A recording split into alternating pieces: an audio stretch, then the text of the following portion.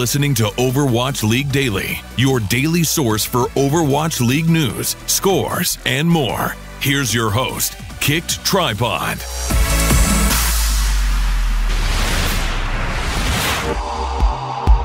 Hey, good morning, Overwatch League fans. This is your Overwatch League daily episode for May 31st, 2018. This morning, I'm joined by Overwatch caster, analyst, and writer for both Overwatch Score and Team Dignitas, Kenobi, to discuss yesterday's matches. But first, here's your two-minute rundown brought to you by our patrons at patreon.com slash OWL Daily Show. The New York Excelsior have only lost to three teams in the Overwatch League regular season so far the Philadelphia Fusion in Stage 1, the London Spitfire in Stage 1 playoffs and in Stage 2, and the Boston Uprising in Stage 3. They've clinched their first seed in the season playoffs, while the Philadelphia Fusion are stuck battling it out with a handful of teams to qualify for the season playoffs. Unfortunately, the Philadelphia Fusion didn't make any headway for themselves as NYXL would continue to go undefeated for Stage 4 and sweep the Fusion four maps to zero. Another one of those teams fighting for season playoff contention is the Seoul Dynasty, who have started their stage at 0 4, their worst start of any stage by far. On the other side, you have the Shanghai Dragons, who are drawing their last few breaths trying to find their first and only regular season win. The Dynasty will make some progress toward their elusive sixth place playoff spot by sweeping the Dragons four maps to zero. They actually find themselves in sixth place, the Shanghai Dragons have now crossed the negative 100 map differential for the season at negative 104 with their most recent performance against Seoul. For the final match of the evening, we have the fourth, that's right, fourth battle for LA in the regular season.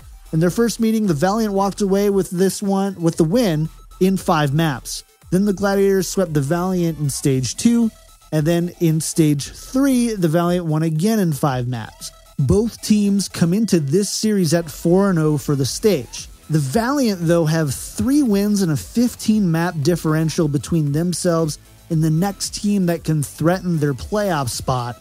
The LA Gladiators find themselves jockeying with five teams, including the Seoul Dynasty, with the difference of four wins and six maps. It's about as close to a free for all as you can get in a format like this.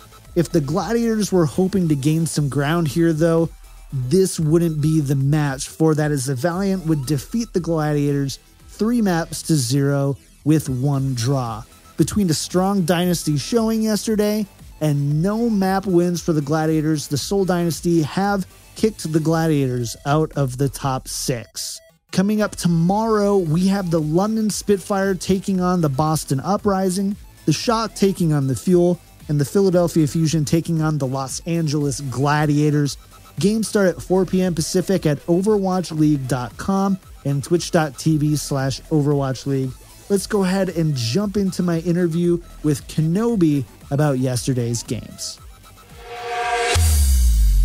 All right, Kenobi, we've got a lot to talk about. We're in crunch time now for the playoffs. Yeah, we are. And there's virtually a free for all for like the bo- the bottom 3 spots in the league playoffs right now. Yep.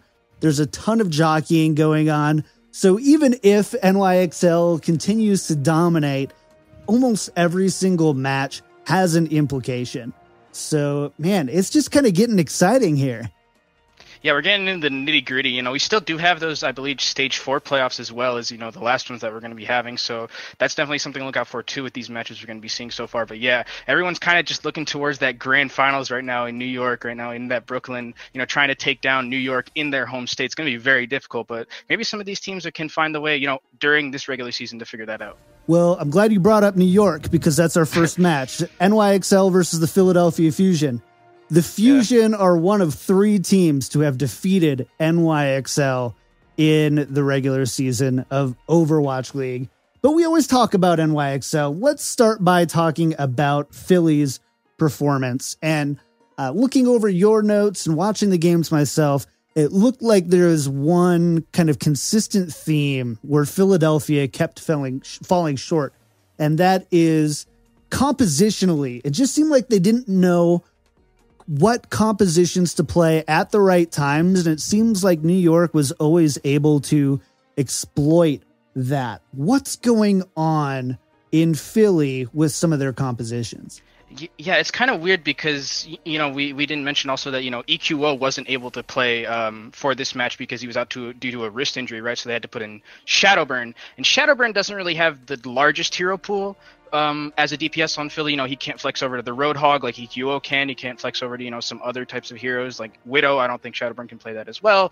So you can't do like Carpe on Tracer, EQO on Widow. You can't do that. So they kind of got pigeonholed a little bit with Shadowburn in the lineup here, but they were very, I guess the word is stubborn, I'd say, with a lot of their composition choices. They'd stay on like these compositions that like clearly were not working.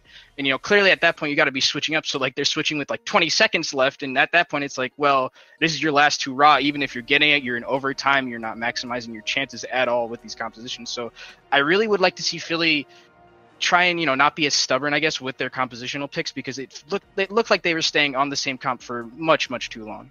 It's going to be interesting because you bring up a point that I didn't really consider. Is I wonder how much of that stubbornness. I, I need to go back and watch some other vods where yeah. um, they were getting outplayed to see if they kind of do the same thing. How much of the stubbornness was? Hey, we've got Shadowburn. He's typically more of a projectile DPS player, and we need to play around that and how much of that or or have him on heroes that he's clearly mm-hmm. uh, not as shadow shadowburny is what we'll right. say but overall do you think that shadow shadowburn performed uh fill, filled shoes or do you think that his performance kind of fell short do you think that's on really him or the team combination of both I, th- I think it's probably a combination of both because filling the shoes of EQO, very, very difficult job. I mean, just in general, just EQO, as I mentioned, the flexibility he has. And honestly, he's just a god. Like, this kid made it to a number one ranked with a 30 FPS laptop. Like, he's absolutely just a monster of a, of a player in this game. So I think that it was a very, they, they should have maybe just tried a little bit more to make Shadowburn comfortable. Because while he was playing, you know, Pharah, he's pretty comfortable at. Like, putting him on Brigitte, I guess you can do that. We've seen other, you know, other teams, uh, New York Excel specifically typically they put like you know SBB on the Brigitte, so definitely you can put them on there. But if this if this is the first time you're bringing him back, you know, to play Brigitte and to play it in a composition, playing in a team he hasn't played for played with that much, I think they could have done a little bit of a better job making sure he was comfortable and really his comfort pick is honestly that Genji, which in this meta, whoo boy, Genji is not the easiest pick, is it? It's not. Although we saw, uh, was it NYXL run it a few times just because they're yeah. NYXL and they they're can NYXL. do like, what they want at this point. I have it in my notes. I said that NYXL can just are still are so good they can just still play dive and it just works just because they're NYXL. Like they're just so good at this game that it doesn't matter if you have a Brigitte. They just are going to focus down that Brigitte with their dive, which is the way you you know beat that composition is you get rid of the Brigitte so that uh, Libero or someone on the Genji can just you know power through everyone else. And so I, I really would have liked to have seen Philly just stop being so stubborn. Like I just I I hated watching them, and I'm like, just switch. You're switching with 20 seconds left. This is not the time. Right. Well, and and for those who you know rely on Overwatch League daily to kind of know what's going on in the standings a little bit, we haven't had a show besides the one yesterday for a while to talk about standings. NYXL has clinched the first seed in in this season playoffs. So well, yeah, you definitely want to, you know, go into your stage playoffs, right? Because that's another potential hundred thousand dollars that that you can essentially walk away from. They've already, I tweeted it out earlier today. They've already won um, a guaranteed six hundred and twenty-five thousand dollars. Yeah, between the I two. I saw that tweet. Um, that's not including if they go to the season four playoffs. That's not including if they win the whole thing. It's over 1.5 million. That's just in performance yeah. bonuses, right? so they yeah. are definitely the top dog right now. Do you think that they're kind of coasting into the playoffs here a little bit? You know, we little, we know that they're a little bit prone to some emotional uh, stress, yeah. especially uh, Pine is one that immediately comes to mind mm-hmm. as someone who you know needs to the team really needs to be very careful around to make sure that mm-hmm. he can you know continue to play at uh, the top level Yeah, I mean Pine today. Uh, I think in the games that he played, he took a little bit of time to warm up, but towards those like match, you know, towards those last two matches, Pine started to warm up a get, bit. And you know, this team, this NYXL team that played today, they didn't even play. Uh, they didn't even play Ark. It was just uh, Anamo on that uh, you know that uh, other that mercy role you know type there. And you know JJoNak I mean you just play him every match because he's JJoNak. He's probably the MVP so I think they are just you know coasting a little bit. Maybe they're going to give some players a little bit more rest. They don't have to you know go full pedal to the metal. But the thing that I like about New York Excel is that they still are doing that. Like they're guaranteed to win um you know the state they're guaranteed to win the season. They're number one. They're guaranteed to go to the grand finals. But they're still just you know keeping this you know they're not sitting on ceremony, right? They're just they're still going, still 4-0ing people, still playing some of the best Overwatch we've seen, and you know they just they I, they haven't really switched it off uh, since that you know uh, one stage one playoffs where they lost to London. It's been just constantly on on on for New York Excel. And it's their right now. It's their games to lose at this point, right? It's it's kind yeah. of up to them at this point. Yeah. I've got to look at the rest of their their season schedule, but I I can't imagine that there are yeah. Uh, very many roadblocks away to not just the stage playoffs, but ultimately, you know, the the grand finals, which I wish I would yeah. be at. I'm not going to be at. My brother's getting married that weekend. I'll be there for you. I'll be there for you. All right, in spirit. We'll have you. We'll have you on. I'll be with you in spirit. Um, yeah, in spirit. We will have you on location and, and use yeah. you for all that. Let's talk about Seoul Shanghai. Um, do we have to? we do. There's two things I want to talk about with the 4-0. Uh, you know, Shanghai is uh, a not, mess. Yeah, they're a they're a mess. a mess right now. But what are your big takeaways for the current state of Shanghai based on this match? Um, a, they don't know. It's so like they're a mess because you know they're communicating in three different languages like you have the korean players you have the chinese players and it shows that their comms are just an absolute just a mess like it's just how i would you know describe the entirety of shanghai right now is just a mess i mean there's some like uh there's some great points, you know, coming from Ado. Ado's playing very well on some of the times. You know, Geguri has some, some of her moments as well. But I think just as a unit, they look completely disjointed, right? They don't look like a well-oiled machine that we see, you know, NYXL is with like how they're playing, you know, and that's pretty a really unfair comparison if you really think about it. But like when I see Shanghai, you know, with their ultimates, and we saw like in that I believe it was the first game on Kings Row, they had six ultimates going into the last point against Sh- against Seoul. And they just decide to completely waste every single one of them. You know, there's a Kobe grab, then there's it's just on the Ryujehong who just pops Transcendence. Geguri throws out a self destruct, doesn't really get anyone uh, because Ryujehong's the only one in there. So I, I just the ultimate the ultimate uh, usage, which is just based on communication, I believe, is just so horrendous coming out from Shanghai, and they just don't look like they know what to do. They're picking like half comps sometimes, where it's like half dive, half anti dive. It just they don't know what they're doing, and it doesn't feel like a team. Well, the dynasty, at least in stage four, you can't say much better for them, right? They're zero and four before coming into this match. Now, this match, because of how the gladiators performed and because of how Seoul performed, they've actually snuck into uh, that sixth spot. So right now they're technically the sixth seed mm-hmm. for the playoffs.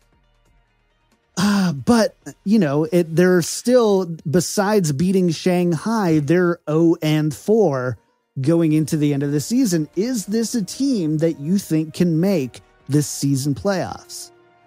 I don't think they can. I think if the pieces around them fall, I think they can. I don't think it's like it's not in their hands. Basically, is what I'm trying to say. Like they, so far from what I've seen from them, don't look like a playoff caliber team. And this was Shanghai. Everyone looks like world beaters kind of against Shanghai. And there were still some things I saw from. I, there were still some things I saw from Seoul that like that was uh, worrying to me. Fleta wasn't playing too well. Um, Wekeed was a shining point. Wekeed played very well. He was probably my MVP for that map. But yeah, Seoul just in general, I don't think is a playoff quality team at the moment. They definitely have the tools, but there's just something off about Shang- about uh, not Shanghai about Seoul rather. They just look. It, it, it's so weird because they were touted as like the team that was going to come in and win everything, but they just look so.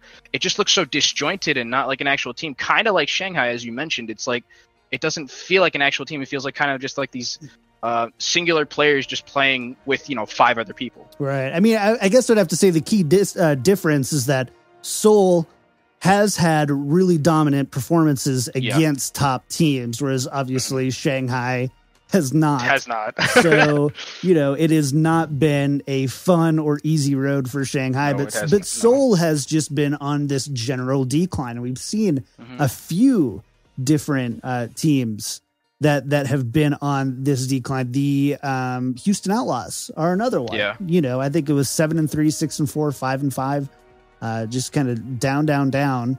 And you know, it, it's not something. This is a fatiguing yeah. season, right? You're talking. Uh, think of think of how hard it is for us to just watch all the games and take yeah. notes about it. Now try to be there and play it, and then you know be doing your stream. it's, it's gotta be yeah.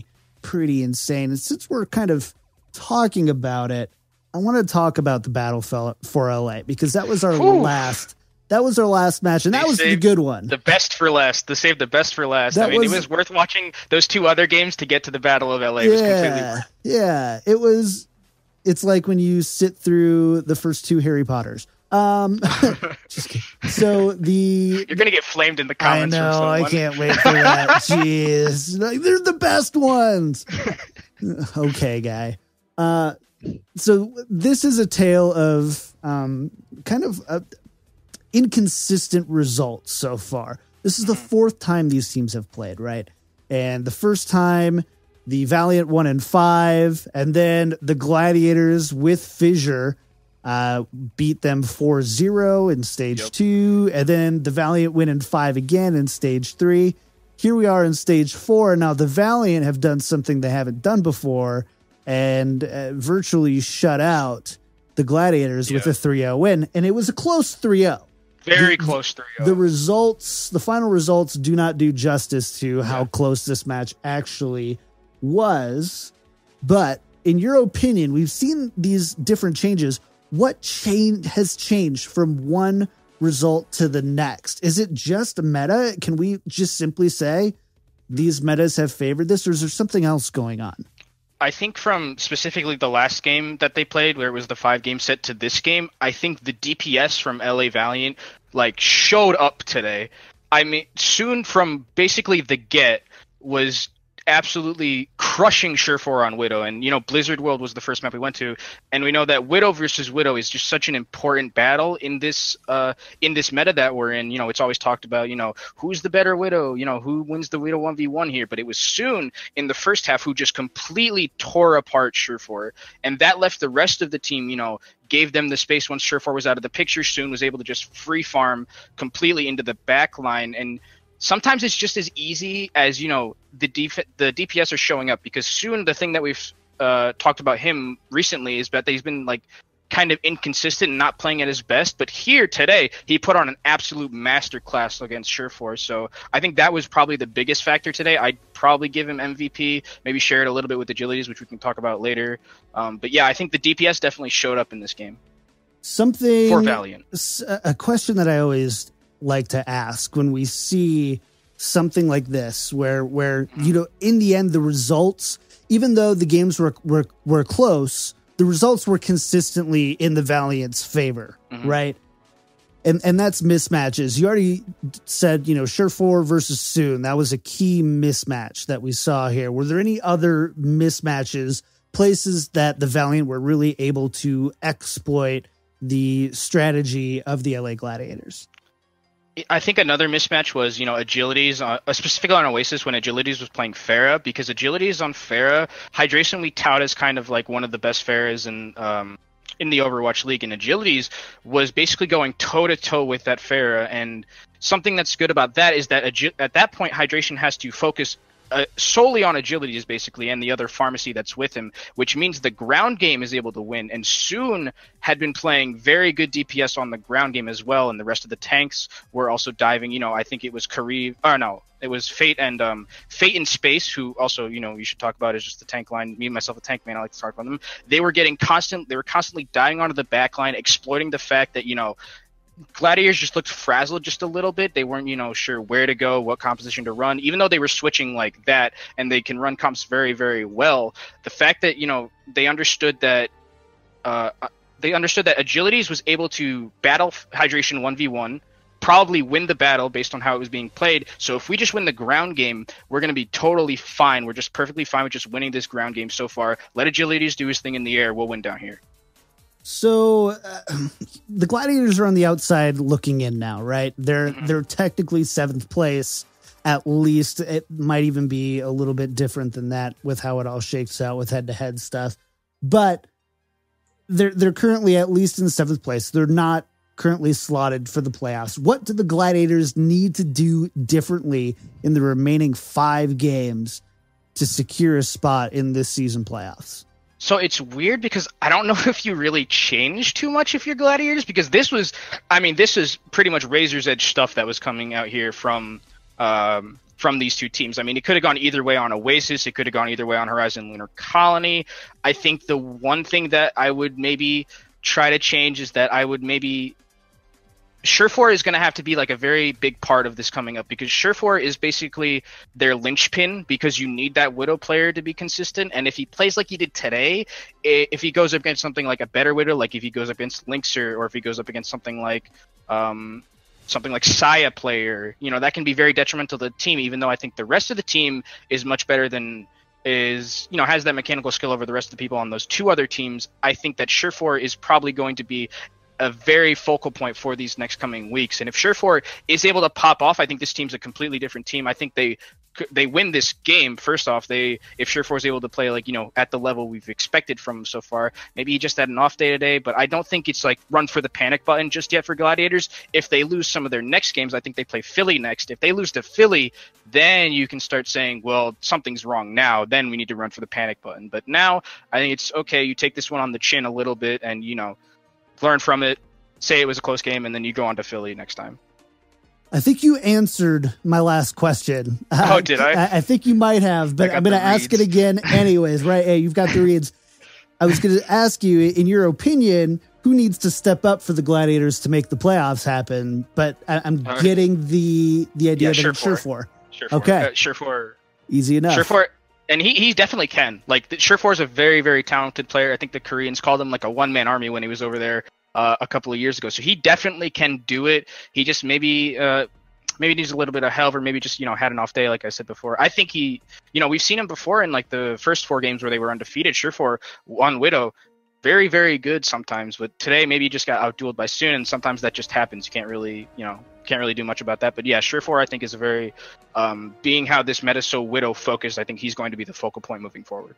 Awesome. Well, uh, Kenobi, I really got to thank you for taking the time sitting down with me so early in the morning, technically now. Yeah. Um, yeah, technically.